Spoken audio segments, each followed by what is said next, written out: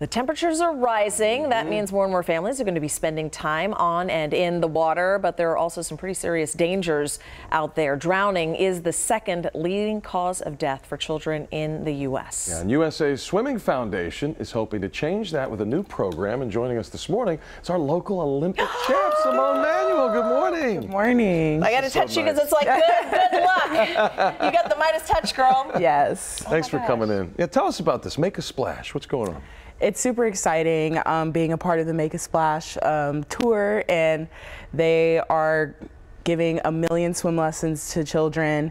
And swimming is a life saving skill, and it is very important. So I'm really excited to be here and kind of share my swimming skills with children and make a difference. So you're actually going to be helping kids learn to swim? Yes, I am. How excited are you about that? I'm super excited. Um, formal swim lessons reduce the drowning rate by 88%, and children's parents who don't know how to swim have a 30% chance of uh, drowning. So it's really important to get swimming lessons. Well, I noticed this with my li- with my little nephew because his dad wasn't very comfortable in the pool, so it took a lot of extra effort by other family members to get him excited and feel safe and comfortable in the water. There is a challenge there. There definitely is a challenge, and um, I think it starts with getting comfortable around the water and getting those formal swim lessons because uh, there's no such thing as being safe around the water, but you can be safer.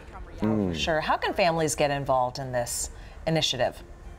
Just uh, sign up at usaswimmingfoundation.org. I mean, there's so many resources out there, and this is one of the biggest ones. And we really want to use our talents to give swim lessons to children. I love it. I mean, you guys do so much with just competing and competing, and this is really all about safety, saving lives, and being part of the community. It's a little different from your other mission usually in the pool. A little bit. I think that um, some of the successes of my swimming have brought people into the sport of swimming and have kind of got, gotten them to realize that swimming is important. And um, after winning my gold medal, I've gotten tweets about, hey, I put my children in swim lessons. So it's a little bit different, but I think that um, the performance that I had has has an impact, and I want to continue to.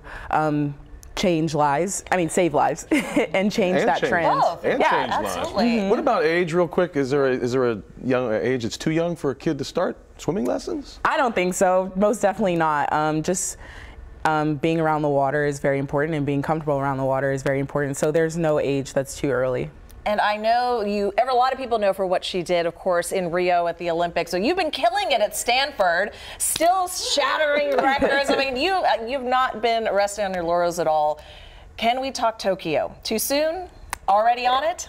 Uh, it's a four-year plan, so it's definitely something that I'm shooting for. You're going to get there. Yes. Well, you are just a beast in the water. love we love watching you, and So- congratulations on Thank all your you. success. Thank you. And for being part of this very, very important program. Of course, we have more information about the Make a Splash initiative on click2houston.com, so you can check it out there. Britta? Uh, awesome stuff. Uh,